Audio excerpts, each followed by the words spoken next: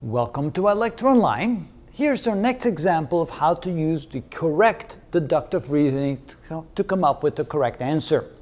We're given six points, A, B, C, D, E, and F, and they're all coplanar. So we need to understand what coplanar means. It means they all lie on the same plane. And then we're told that points A, D, and F are collinear, so those three points are on the same line, and also that points B, C, and E are collinear. So B, C, and E are on the same line as well, not necessarily on the same line as A, D, and F. And then we're told that the line drawn through D and F is perpendicular to the line that's drawn through C and E. And finally, they ask us which four points must lie on the same line. So let's start with getting a feel of what this may, what this may look like. So first of all, we'll do step one and realize we have a plane. And on the plane, we have six points. So we can just randomly put the six points down. There's A, there's B, there's C, there's point D, there's point E, and there's point F. So we've now met the first requirement that we have six points and they're all on the same plane. They're coplanar. But then on the next statement, they tell us that A, D, and F are collinear. So let me look at A, D, and F. And so we have point A, we have point D, and we have point F.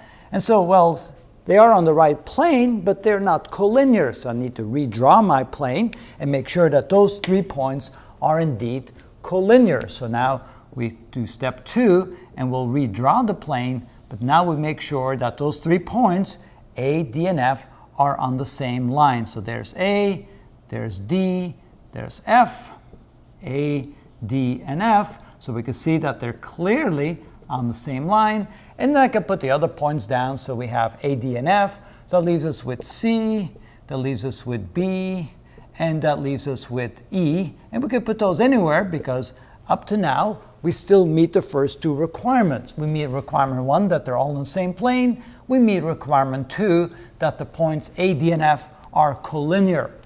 But now when we read the next, um, the next rule or the next requirement is that points B, C, and E must be collinear. So now we realize that these three points must be collinear as well and not necessarily on the same line as A, D, and F. So now let's do requirement three. So let's come up here. And I can see that we're going to still put the first three uh, points. We can take A, D, and F,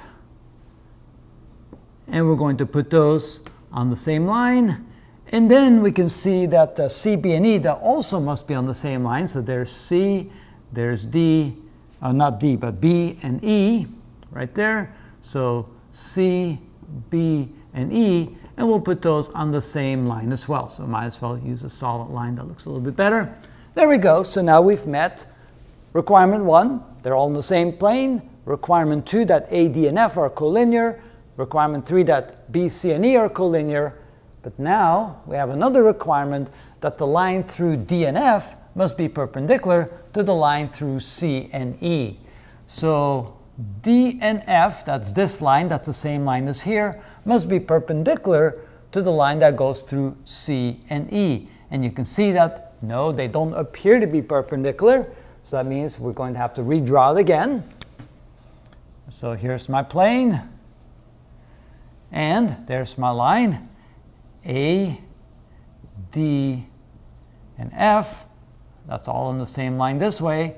And so based upon the what we have here, you can see now that here I'll draw another line and this would be a right angle like this. So that means that those two are perpendicular. And you can see that this is C, this is B, and this is E right there. All right. And now that I've done that, hmm, now they say which four points must lie on the same line. And when I look at that, I say I meet all the requirements. I met requirement one that all the points are on the same plane. I met requirement two that A, D, and F are collinear. I met the rule that B, C, and E are collinear. And I met the rule that line through D and F must equal the line through C and E. So the line through D and F must equal the line through C and E. And I can then conclude that there is no requirement at all that any of the four points must therefore lie on the same line. There's no other rule that forces me to have things on the same line. So I can conclude none of the points must lie, uh, or none, none of the four points, or no four points must lie in the same line. I do not meet this requirement. There's no rules here that make me indicate that there's a requirement that there's four points on a given line. I've met all the requirements and there is no answer in this case. And that's how it's done. That's what we mean by deductive reasoning and it leads us to the correct answer that there's no such thing as four points which must lie on the same line. And that's how it's done.